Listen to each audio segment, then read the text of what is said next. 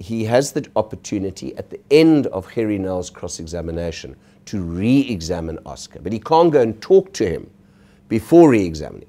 So that's the opportunity to, for him to kind of resurrect the defense again and, and, and kind of sort out problems that, that Oscar experienced during cross examination, deal with certain points um, that Oscar didn't answer properly. But again, you can't go through the whole case again. And sometimes it's better rather not to say anything because you ask a question in re examination and then now you get another answer.